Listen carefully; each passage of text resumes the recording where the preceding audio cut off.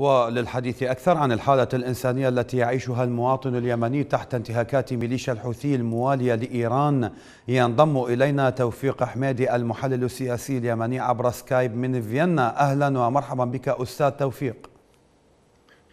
آه، مرحبا بك وبجميع مشاهدي قناتكم الكريمة. حياك الله. بداية الأمين العام للأمم المتحدة أنطونيو غوتيريز حذر من مجاعة تهدد اليمن.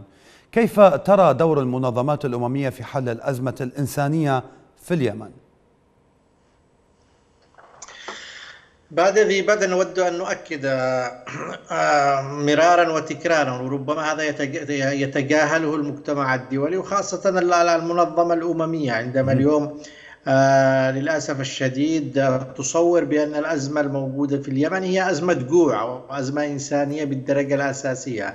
الأزمة الإنسانية في اليمن هي انعكاس طبيعي وبشع وقاسي للأزمة السياسية المتمثلة في انقلاب جماعة مسلحة على الشرعية الدستورية وعلى خيارات اليمنيين الثورية التي خرج من أجلها اليمنيون في الحادي عشر من نوفمبر آه، بإسقاط نظام علي عبد الله صالح والمطالبة بنظام ديمقراطي تعددي يتساوى فيه اليمنيون. ذهبوا إلى مؤتمر حوار ثم انقلبت عليه جماعة الحوثي مدعومة من إيران ومن قوى أخرى. محلها إقليمية للأسف الشديد لم تقدر الموقف اليمني حق تقديره. وبالتالي الأزمة الإنسانية اليوم هي انعكاس لهذا الوضع وعلى المجتمع الدولي أن يتحمل مسؤوليته في هذا في هذا الخصوص. اليوم بعد أربع سنوات إلى خمس سنوات كان منسق الشؤون الإنسانية ربما أكثر وضوحا عندما قال كان المجتمع الدولي والمانحين كرماء في الفترة السابقة.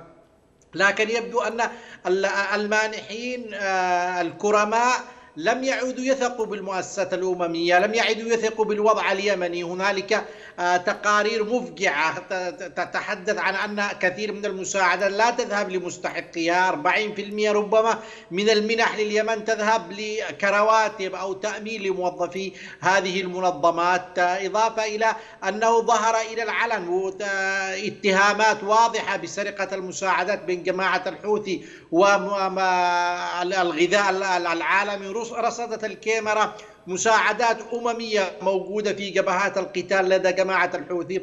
وبالتالي طبيعيا أن تتفاقم هذه الأزمة الإنسانية لسوء إدارة الأزمة الإنسانية ولعدم وجود خطة إنسانية واضحة. طيب. لا, نذهب بعيدا لنذهب فقط إلى معسكرات النازحين الموجودة في مأرب وأطراف الحديدة وأطراف عدن وأطراف صنعاء.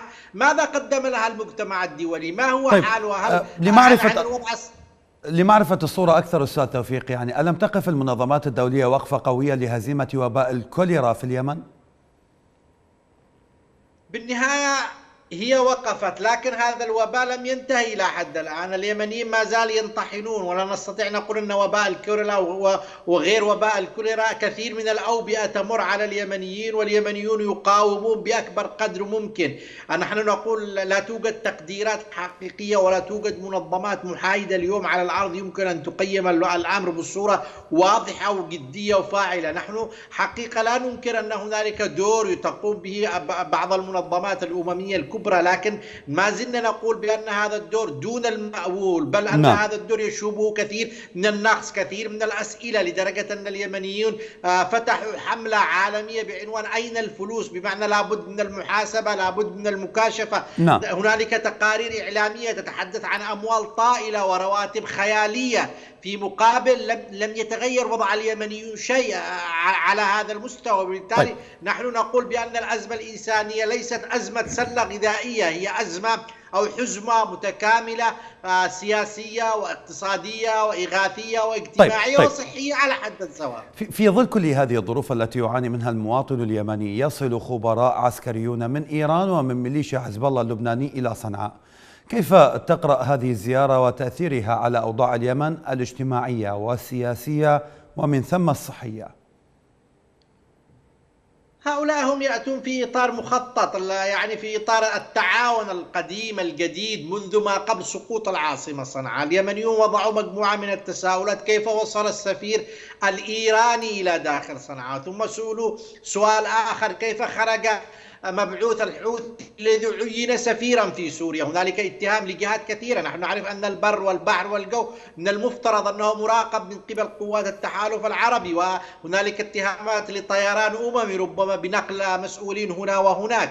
اليوم قضايا اليوم إيران آه، يعني لا يوعز شيء أن توصل خبراءها إلى اليمن. لكن بشكل عام هذا يؤكد أن اليوم الذي يدير اليمن بصورة فعلية هي جماعة الحوثي. اليوم الحاكم العسكري لصنعاء والحاكم الفعلي للمحافظات التي تحت سيطرة جماعة الحوثي هو السفير الإيراني الذي أعلن عنه.